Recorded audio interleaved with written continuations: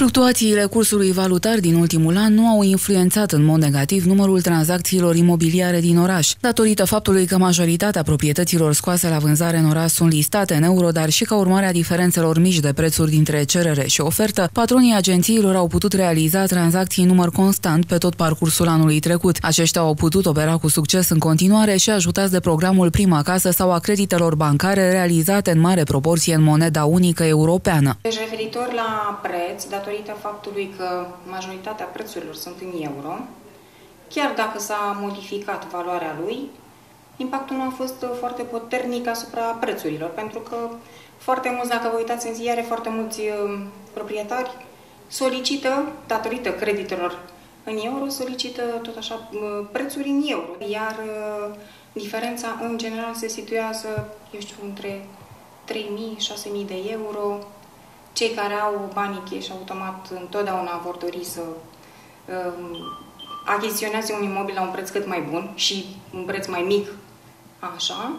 Uh, ceilalți care au venit prin solicitări uh, prima casă au oferit undeva la în jur de 2000-2500 de euro mai mult și atunci au și crescut puțin prețurile.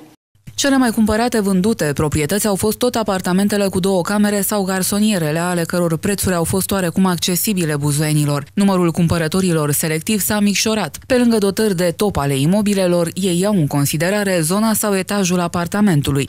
Uh, cele mai solicitate au fost apartamentele de două camere și garsonierele, uh, datorită faptului uh, că sunt la prețuri mai mici.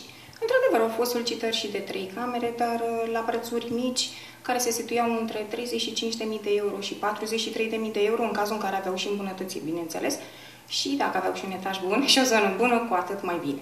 Oarecum surprinzător în condițiile în care piața stagna de obicei în perioada hibernală, anul acesta au existat destul de multe tranzacții la Buzău. Mulți buzoieni care își desfășoară activitatea peste hotare au sosit acasă de sărbători, devenind între timp și proprietari. Solicitările au fost în continuare pentru achiziționarea imobililor mici, garsoniere sau apartamente de două camere, um, dat fiind uh, faptul că au venit uh, persoane din străinătate care au venit cu euro.